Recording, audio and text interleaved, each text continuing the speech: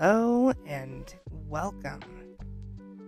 It's January 2024, and this is the, the first Blowing Smoke podcast of the year. Our topic today is noir, or neo noir. Well, maybe both. So, unless you want to be sleeping with the fishes, light up and listen in. So, film noir. It's a cinematic term used primarily to describe stylized Hollywood crime dramas, particularly those that emphasize cynical attitudes and motivations. And of like the 1940s and 1950s, which are basically generally regarded as the classic period of American film noir. Now, the French term of noir translates literally to English as dark film. Because they were quite bar- both dark in lighting and in sinister stories, often presented in a shadowy cinematic style. Neo noir has a similar style but with updated themes, content, style, and visual elements.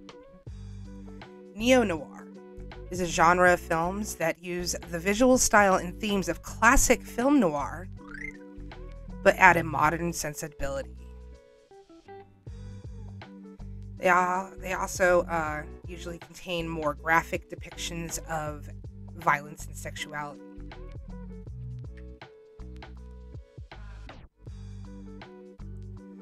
So, let's uh, let's talk about like noir in general. You know, how it's basically a visual novel for the senses and really plays factor into emotions, themes, nuance, atmosphere, settings, and places. Basic stuff that's contained in neo noir, a city that never sleeps. Usually dark and gritty, wet streets and twinkling lights. Crime is prominent, sex and mystery. Detectives, dames and bad guys slash girls, diners, newsstand boys yelling out the news, Tommy guns rattling out bullet holes into walls, dark clubs or bars with a sultry cl- uh, crooner singing in satin and sequins, champagne martinis, cigars, cigarettes, and an inner monologue that keeps you in your seat. So, some popular neo noir from like around the late 80s all the way up into the 2000s. Let's start with Who Framed Roger Rabbit, 1988. So, this is a 1988 American fantasy comedy, and it was directed by Robert Zemeckis. Um, screenplay written by Jeffrey Price and Peter Seaman. It is loosely based on the 1981 novel Who Censored Roger Rabbit by Gary K. Wolf. The like the film has Bob Hoskins, uh, Christopher Lloyd, Stubby Kaye, Joanna Cassidy, and the voice of Charles Fleischer. Combining live action and animation, the film is set in an alternate history Hollywood in 1947, where humans and cartoon characters, referred to as toons, uh, coexist. And its plot follows Eddie, private investigator with a grudge against Toons, who must help exonerate Roger Rabbit, a Toon who is framed for murder. Great movie, and it's a even though it's a fantasy comedy and there is you know elements of like detectives and stuff like that, and, it, and it, it's still considered neo noir, at least to me. Uh, then we have Dick Tracy, which was uh, 1990 Warren Beatty produced, directed, and co wrote it, uncredited, and starred in the 1990 film. Uh, supporting cast was Al Pacino, Madonna, Glenn Headley, and uh, Charlie Korsmo. Dick Tracy depicts the detective's romantic relationships with Breathless Mahoney and Tess Trueheart, as well as his conflicts with crime boss Big Boy Caprice and his henchmen. Tracy also begins fostering a young street urchin named Kid. Development of the film began like began in the early 1980s. Um, and then the screenplay was written by Jim Cash and Jack Epps Jr., uh, both of top from Top Gun. And the project also went through many different directors, from Steven Spielberg, John Landis, Walter Hill, uh, Richard Benjamin, before the arrival of Warren Beatty. It was filmed mainly in Universal Studios. Uh, Danny Elfman, Elfman was hired to compose the score, and the film's music and songs were featured on three separate soundtrack albums. So, this is another movie where it's really great neo noir. So, it takes stuff from like the 1940s, 50s, and um, kind of slightly modernized it. Slightly but it still holds true and it's a really great film. It's one of those sleeper things. Not everybody likes Dick Tracy. I particularly do. And then we have The Rocketeer. Now this one not a people I don't not a lot of people have seen it, not a lot of people like it. So The Rocketeer was uh, in 1991 and it was released internationally as The Adventures of the Rocketeer. So it is a 1991 American period superhero film from Walt Disney and Touchstone Pictures. It was produced by Charles Gordon and, Lo- and Lawrence Gordon and uh, Lloyd Levin. It was directed by Joe Johnston and it stars Billy Campbell, Jennifer Connelly, Alan Arkin, Timothy Dalton, Paul Sorvino, and um, Tiny Ron Taylor. And it's based off the character of the same name created by comic book artist and writer Dave Stevens. It's set in 1938, Los Angeles, California. The Rocketeer tells the story of a stunt pilot, which is uh, Cliff Secord, who discovers a hidden rocket pack and then thereafter uses it to fly without the need of an aircraft. And his, hero- his heroic deeds soon attract the attention of Howard Hughes and the FBI, who are hunting for like the missing rocket pack, as well as like Nazi operatives that stole it from Hughes. It's a really great movie for surprisingly Disney and Touchstone back in 1991. It doesn't really get a lot of praise, and not a lot of people really like it, but it actually is a really good neo noir film. Um, another one, which is actually one of my all time favorites, is The Shadow, 1994. So, The Shadow. Let's see. Uh, it's a char- it's a, he was a, the character was adapted once again into a feature film. So this used to be like an old comic, just like Dick Tracy was an old comic.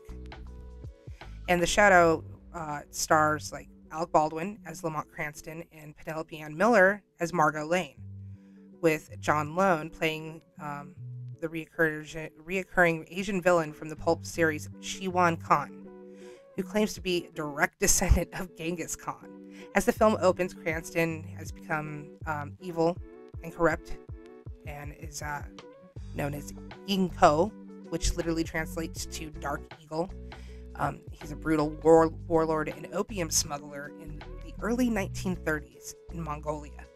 Yingko is kidnapped by agents of a mysterious holy man, which is the Tulku, who knows the uh, warlord is actually Lamont Cranston of New York, and he says that he is determined to reform the man.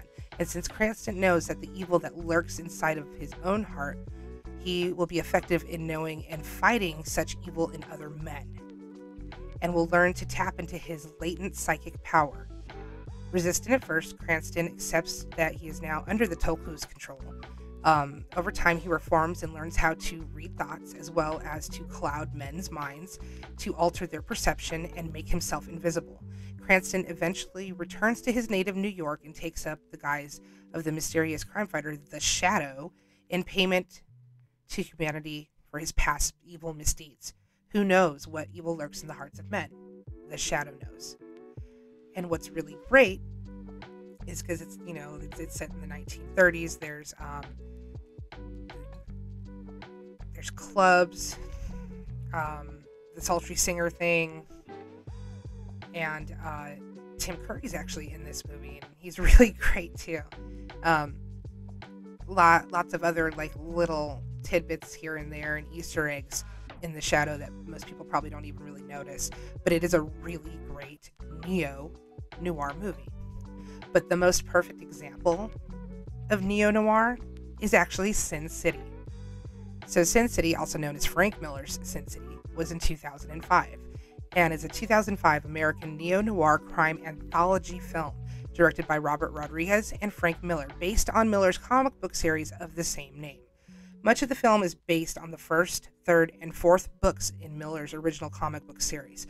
The Hard Goodbye is about an ex convict who, who embarks on a rampage in search of his one time sweetheart's killer. The Big Fat Kill follows a private investigator who's caught in a street war between a group of prostitutes and a group of mercenaries, the police and the mob. The Yellow Bastard focuses on the the aging police officer who protects a young woman from a grotesquely disfigured serial killer.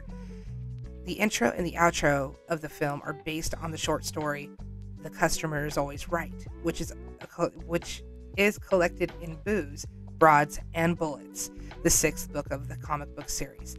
The film stars a uh, great cast with Jessica Alba, Benicio del Toro, Brittany Murphy, Clive Owen, Mickey Rourke, Bruce Willis, and Elijah Wood.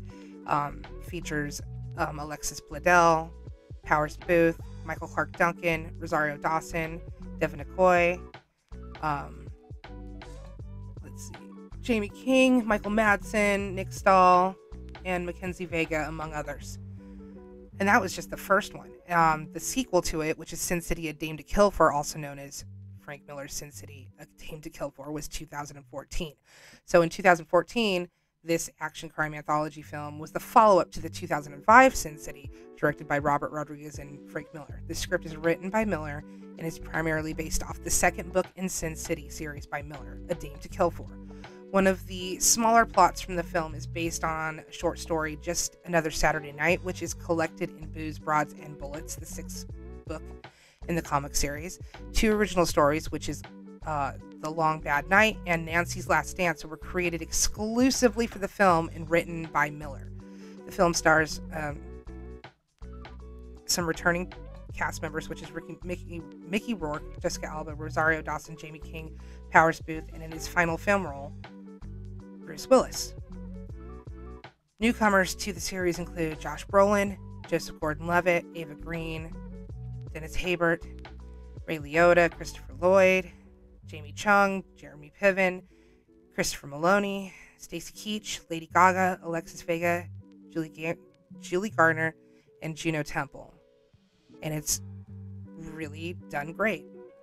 Um, just the style of the movie. It literally looks like an old noir comic book, but it's still technically neo noir. So, neo noir is so well done and it's so suspenseful that, you know, it still holds weight today for today's audience. Uh, this is because of a few things. The plot points, the narrative devices are all raw and carnal, and the simplicity and the themes that never grow old just make them timeless. The social importance of neo noir is grounding in its big themes of race, class, gender, and systematic corruption. The overreaching and lasting appeal of noir is that it makes doom fun. Can't praise it enough. So, I hope you enjoyed this quick little podcast. And uh, not sure what the next one's going to be, but you know, it's January. 2024. Figured I'd start out with something. Get back on the ball and start, you know, doing my podcast here. Um, so if you like this and you want more, go ahead and like, share, subscribe, you know, and then tune in for the next one. Now you stay creepy like Kimiko Kusanagi, okay? Bye.